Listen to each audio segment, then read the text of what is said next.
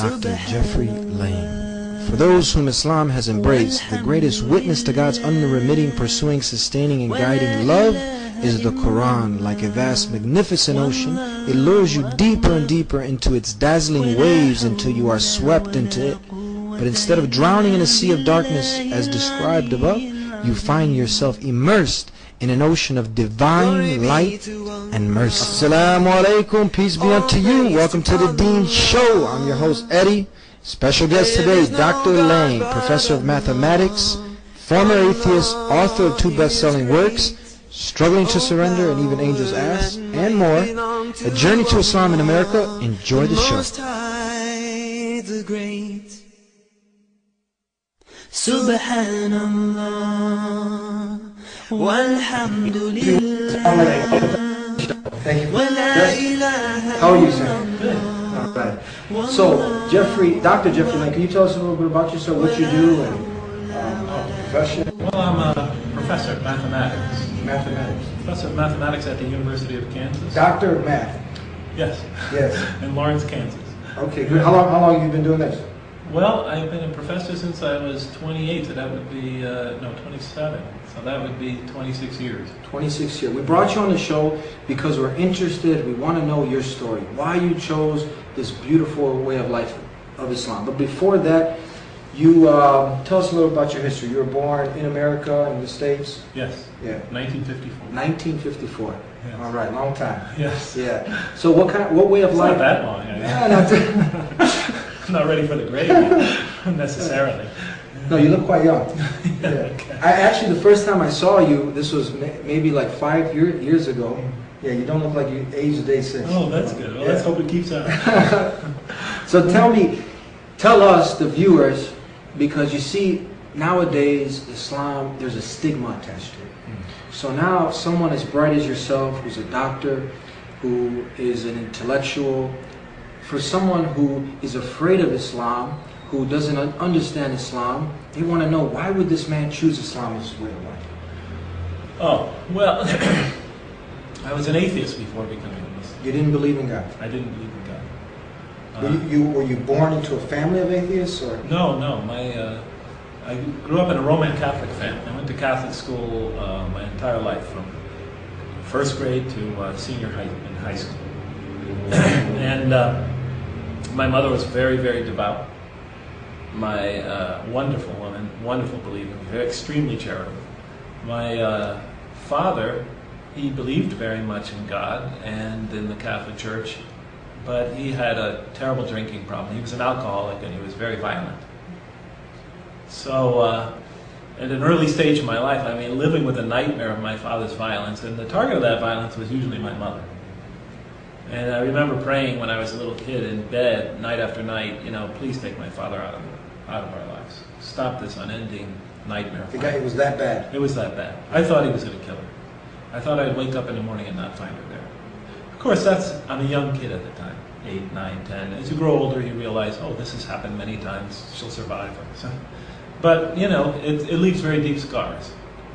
So when I was 16, uh, uh, you know, it, it created in me doubts about the existence of God. Why would why would God, this loving God, expose my mother to lifelong tor- torment and torture? What sin did she commit to deserve this? Uh, why would he let the strong oppress the weak? Why would he create us to experience such violence and, and suffering in this There's world? nothing wrong with wanting to know the answers to these questions. It's no, natural. of course not. It is Yeah. natural, especially when you're living with them daily. So, um, doubts about the existence of God crept in early in my life, and they only got accentuated as I grew older. And you know, we uh, experienced the Vietnam War, experienced the race riots in cities like mine of the '60s, the assassinations of political leaders. It was rampant, or at least it seemed that way at that time. Heroes like John F. Kennedy and Robert Kennedy and Martin Luther King get gunned down to replaced by the most corrupt rulers that we thought. So, you know, why would God make it this way? The, the question, which was rooted in my childhood experience, grew as I got older. So when I was 16, since I could never find really, even though I was in Catholic school all of my life, and this is nothing against the Catholics, even though I couldn't find coherent and cogent answers to those questions, 16, I became an atheist. You wanted to know why the weak were getting oppressed by the strong. You wanted to know why all this corruption, these in society, and you were looking for answers. And the way, the way of life you were brought up to didn't answer Well, you have to remember, I'm going to Catholic school every day, you know, and this, again, this is not against the Catholics, but I have many other things going on in my life. I'm exposed to religion every day. What about Christianity? I mean, we understand Christianity, uh, Catholicism is it has the same kind of creed that Yeah. uh, Jesus is God, He's the Son of God, He's one in three. So what if someone says, "Well, you were in the wrong faith. Why didn't you choose Christianity?" Were you exposed to that at all? Yeah, well, I was a Christian at the time. you Yeah. know, I mean, I was a Christian as I'm a Catholic. I'm What's a the main difference? Tell us for the viewers that might not know. What's the difference when you say Catholic and Christian? It's just a branch of, it's a sect of It's, Christianity. it's a sect. So you were you were Yeah. a Christian. Yes. It's just a sect of Yeah, Christianity. it's the largest sect. It's a large. Okay, Yeah, just so the world. you- all right. Yeah. So you know, I'm exposed to religion every day. Uh, it's part of my life because I go to school every day, and on ch- and on weekends I go to church. So I have that going on. Meanwhile, I have these big questions looming in my life. Why would God create us here to suffer if He's supposed to be an all-loving God, as I was taught? So I have these contradictions in my life. The mother, my mother, the most saintly woman I, I've ever known, is suffering this violence and abuse of my father. And sometimes we children also, us children also experience it. And uh, why would God do that? Why would He let innocent people suffer at the hands of more violent criminal people? Um, why wouldn't a perfect God create a more perfect world? Uh, where does evil come from?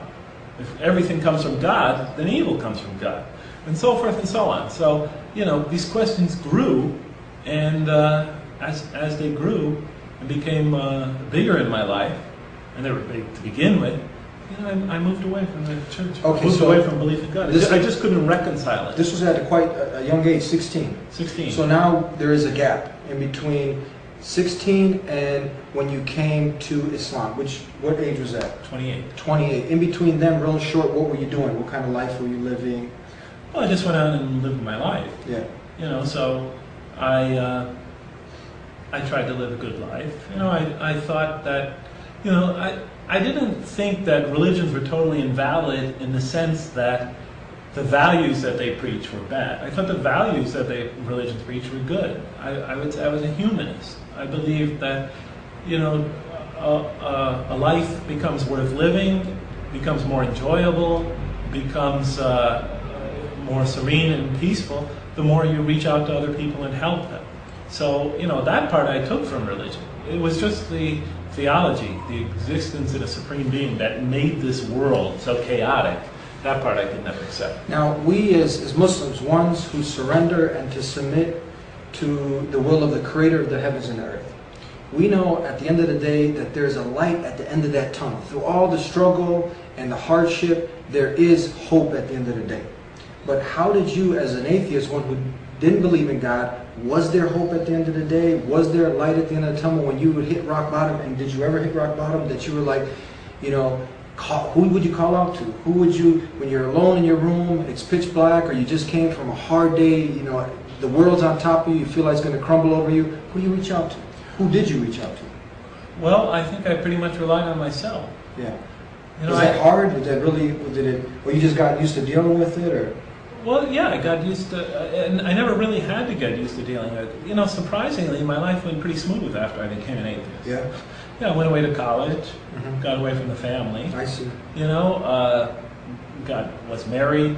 You know, when I was uh, around 21. The marriage didn't last, but it was a peaceful marriage. Yeah. It lasted a couple of years. Uh, I was very successful in school. Uh, went went to graduate school. Yeah. Uh, did well there. So nothing really went badly, and you know, but I assumed that if something did go badly, that was just the accident, one of the accidents of life. So where the shift now? If everything was going smooth, you're going to school, then how the shift? Why the shift Oh, from being an atheist to now